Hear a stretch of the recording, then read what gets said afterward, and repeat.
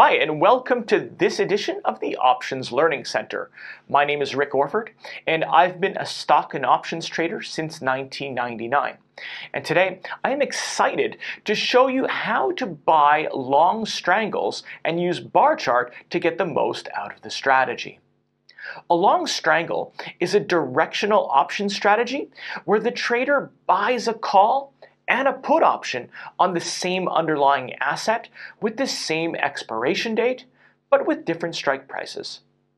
The goal of a long strangle is to profit off an asset's significant price movement, and the profits can then be locked in upon exercising or selling the profitable trade before expiration.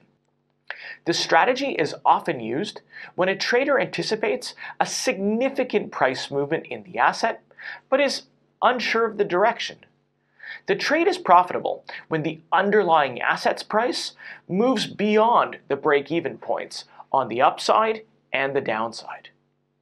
The maximum loss condition happens when both options expire worthless and is limited to the net premium paid to purchase the long strangle. Let's visit Barchart to find long strangles. Barchart's option screener lets you screen the entire market for underlying assets for specific strategies. To access the feature, head over to barchart.com, click on Options at the top, and then click on Long Strangle. Once there, you'll be shown a results page that's based on default filters and criteria.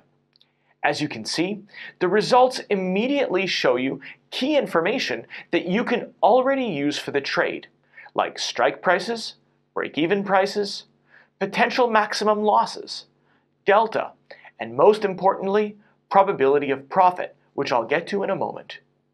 You can click on any of the column headers here to change the arrangement of the results.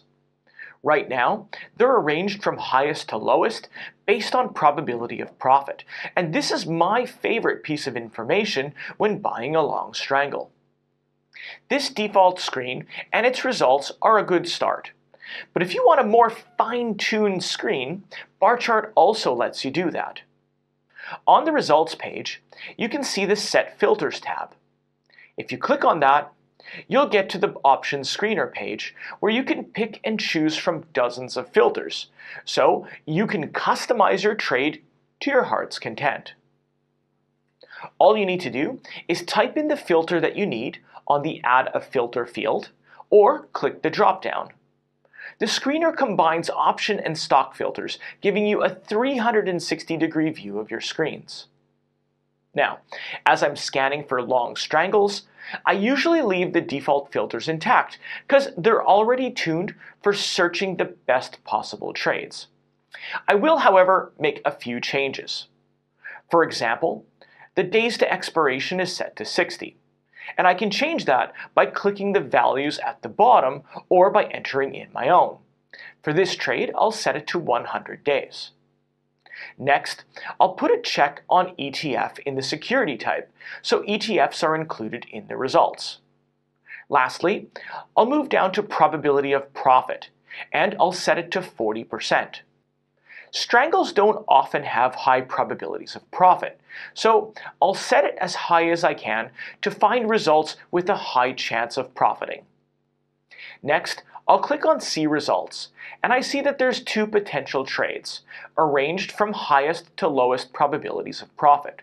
Now, usually I just take the first one, but I'm not so sure on BlackBerry stock right now, so I'll pick the other, which is Papa John's International. By the way, you can also save your screener to reuse it later. Just give it a name, and you can even have Barchart email you at a specific time with the new trades that match the filters. Okay, so let's get back to our long strangle since we have our trade details. For this example, I'll use Papa John's, which is trading at $46 at the time of the screen. It suggests buying a long call with a $47.50 strike price for 55 cents a share, and a long put with a $45 strike for 60 cents.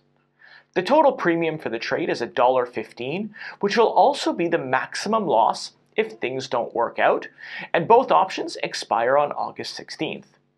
Now, let's break down the trade.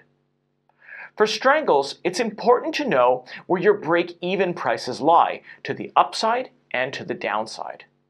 To get the break-even price to the upside, simply add the total premium to the long call strike and subtract the total premium from the long put to get the break-even on the downside. So that'll be $48.65 on the upside and $43.85 on the downside. And this trade will only see a profit if Papa John's stock price moves beyond any of these price points before expiration. Now, let's say that Papa John's stock price increases to $52 before expiration. Well, that means your long call trade leg is now in the money. You can exercise the long call and buy 100 Papa John shares for $47.50 each, and then sell them to the market for $52. For that trade, you'd make $335 less any trade fees. Now that's one way to realize a profit. However, if your option still has a few days before expiration, you can sell it instead of exercising it and likely earn more. Option premium prices are made of intrinsic and extrinsic value. The intrinsic value is how much the option is in the money, and the extrinsic value is the time value that remains. So if Papa John's is now trading at $52, your $47.50 strike call has $4.50 of intrinsic value, but its premium could be higher due to the time value that's left on the option. If the price of Papa John's stock goes down to, let's say, $40 instead, well, you have two options. If you own the stock, you can exercise the long put and you'll sell 100 shares of Papa John's and collect $45 a share. That means your net profit on the trade will be $385 after the initial premium. But if you don't already own the shares, you can sell the long put as long as it hasn't expired yet. Like the call option, it might have some time value left, making it worth more than exercising it.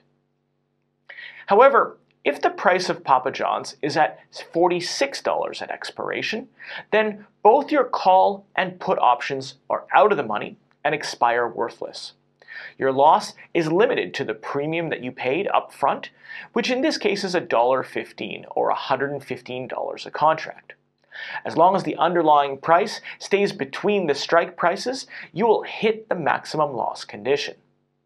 For a better idea at how this particular long strangle trade might look, here's a table detailing the profit and loss scenarios across different price points. As you can see, the maximum loss condition occurs between the $47.50 and $45 strike prices.